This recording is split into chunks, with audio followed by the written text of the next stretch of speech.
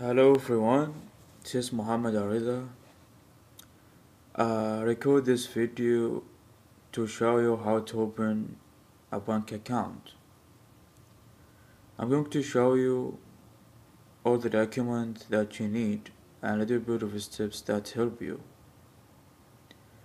First of all, the location for the Bank of America, especially for non-resident, the location is in 3717 Hampton Boulevard, Norfolk, Virginia 23508. It's very close to ODU. You can you, you can go walking if you are living in ODU area. It's like four blocks from Dragas Hall. The location how you see it's uh, E the letter E is Bank of America ATM and B is the Bank of America the place. And how you see here it's Old Dominion University. It's not so far how you see like four blocks from Old Dominion especially Dragas Hall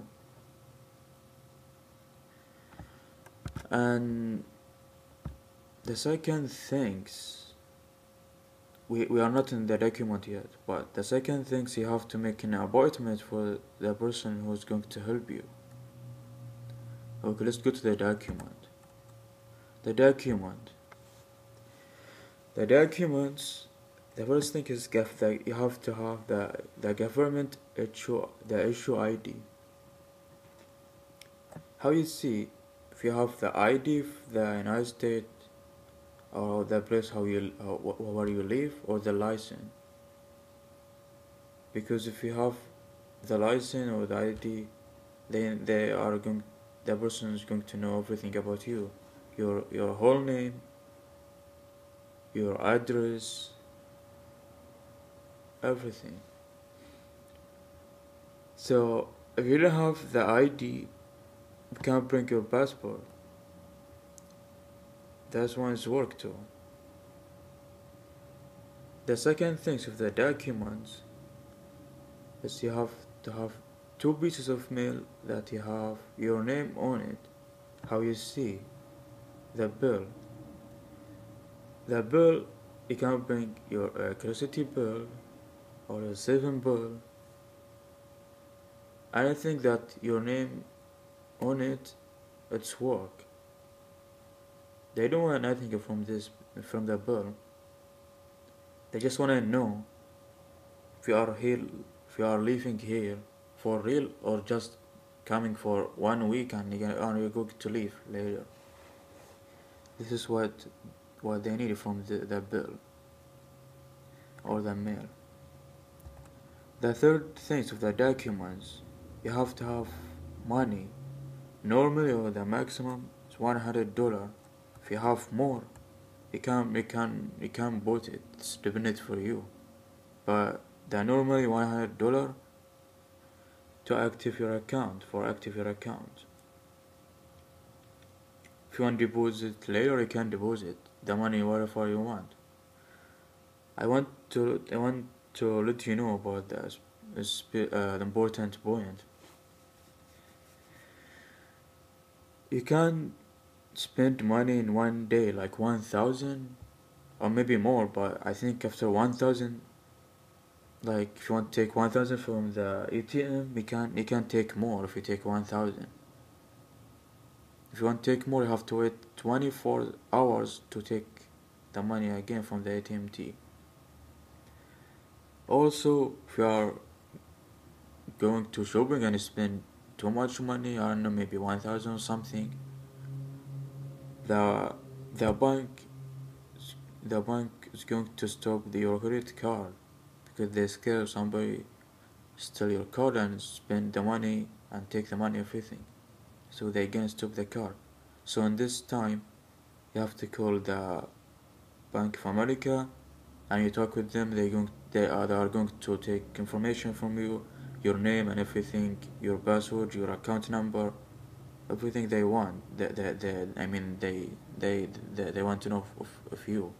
So you have to be prepared and you have to know everything about your account. The four things of the document you have to bring your I-20 form from your school that prove you are here for studying. How you see the I-20, the I-20 form going to be like this. I, I think you know already, but I just want to show you. The five things in the document how you see that your post address is already in your license but if you don't have it you have to bring your address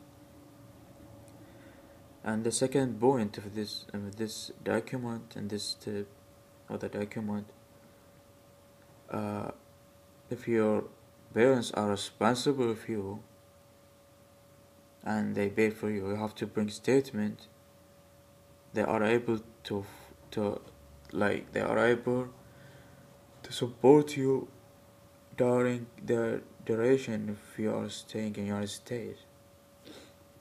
If your parents not responsible for you, you can bring the scholarship from your government, your NBC, so that help the person to to to help to finish your uh, your documents.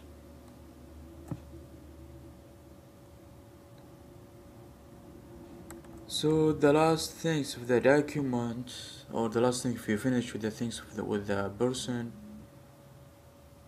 uh, you have they, they are going to give you temporary card. How you see like now to have your name. I mean it's, it's not have your name just like customer or something I need the the the, the number for the credit card and the date. After seven days after seven days uh, they are going to give you the normal ID so